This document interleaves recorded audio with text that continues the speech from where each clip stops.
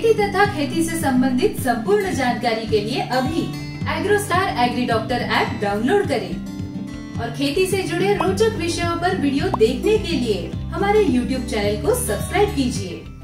किसान भाई, नमस्कार। मैं डॉक्टर एस के त्यागी, वैज्ञानिक, उद्यान विज्ञान, कृषि विज्ञान केंद्र खरगोन में पदस्थ हूँ। किसान भाइयों, आज मैं बैगन में लगने वाले प्रमुख कीट सफ़ेद मक्खी के नियंत्रण के बारे में बताऊँगा। किसान भाइयों, सफ़ेद मक्खी के शिशु एवं प्रौढ़ दोनों पत्तियों की सतह से रस चूसते हैं, जिसके कारण पत्तियाँ सुखड़ जाती हैं एवं बैगन का उत्पादन गिर जाता है। साथ ही सफ़ेद मक्खी विषाणु जनित रोगों को भी फैलाने का काम करती है।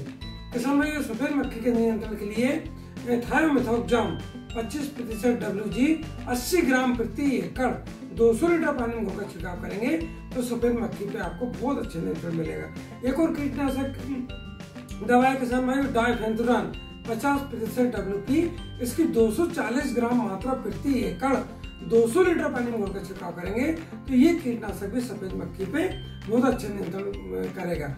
किसान भाइयों कीटनाशकों के छिड़काव करते समय ध्यान देने योग्य बात है कि कभी भी लगातार एक ही कीटनाशक का छिड़काव नहीं करें, कीटनाशकों का अदल बदल कर छिड़काव करें, साथ ही एक ही पंप में बगैर जानकारी के एक से अधिक कीटनाशक का मिश्रण नहीं करें। और इस तरह से आप कीटनाशकों का उपयोग करेंगे तो सफ़ेद मक्खी पे बहुत अच्छा नियंत्रण मिलेगा और बैगन से आपको बहुत अच्छी उपज प्राप्त होगी। बहुत बहुत धन्यवाद।